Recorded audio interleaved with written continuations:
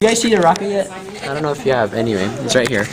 Uh, here's the rocket. It's like 29 feet long. And, um, here it is. Looks very nice. You should see Ian's. Like Ian actually. We're missing this fins. There's supposed to be fins there. I don't know Right why there. they didn't. No, fins would be um, here. I thought they're here.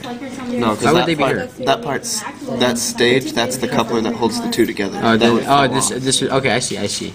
This one falls. off. Okay, that makes sense. So we're missing fins. Right. This is the this is the casing though.